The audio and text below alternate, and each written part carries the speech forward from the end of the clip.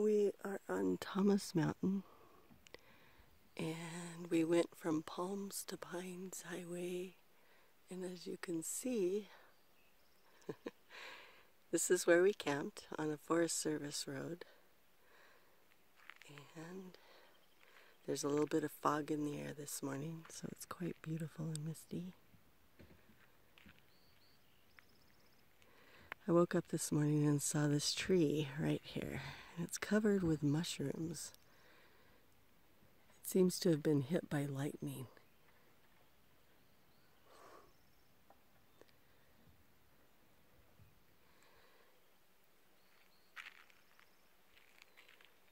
This is a nice place to wake up.